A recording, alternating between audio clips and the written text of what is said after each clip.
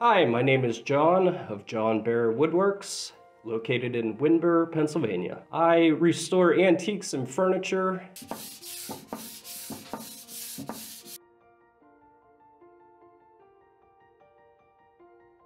Today I am restoring this three mirror 1950s vanity Since I knew that this piece had been painted over with several coats of paint, I was just really excited to see what was hidden under there. I start by applying a gel stripper and I apply that with a brush and I like to really glob it on. You gotta get it on thick and then let it sit. It can't be dry, it has to stay wet so it's working.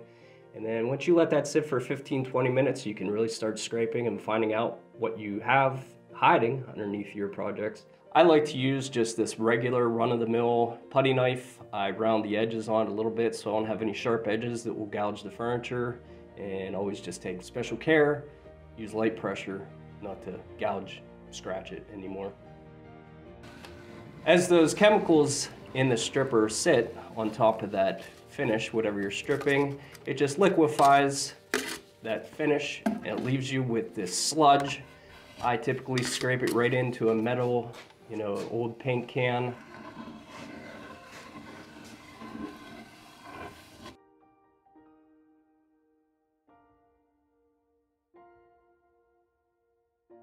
A tip I got one time from an old timer I used to work with is this sawdust trick. When I apply the sawdust, it soaks up all that stripper and you're not left with all that gooey mess on there that you need to wipe off or anything. As I'm uh, using this technique, you want to make sure that you go with the grain, just like you would with sanding or scraping or anything. You don't want to go against that grain or light pressure. You don't want to cause any scratches or gouges to the wood.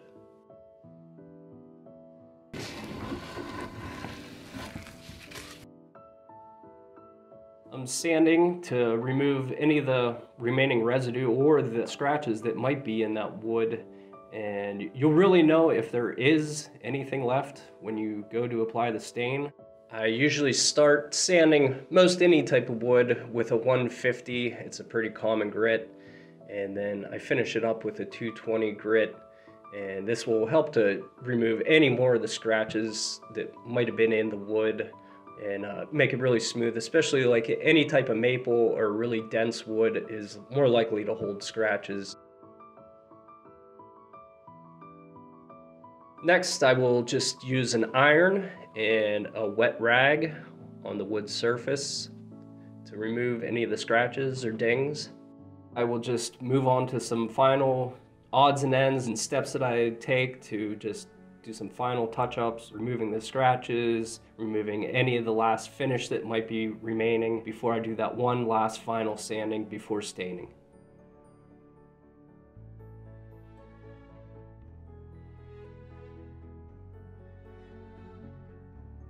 I will use an oil-based stain that I mixed this color to my preference.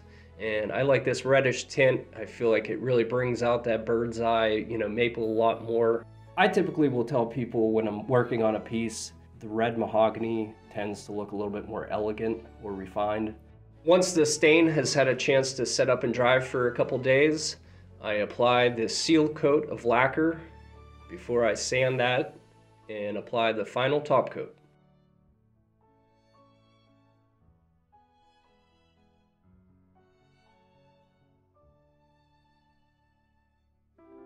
It's always nice to see these pieces come back to life for a second life instead of ending up in the dump or out to a curbside.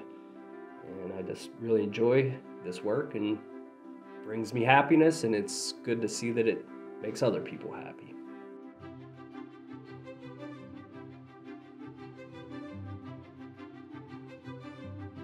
He's my handy helper.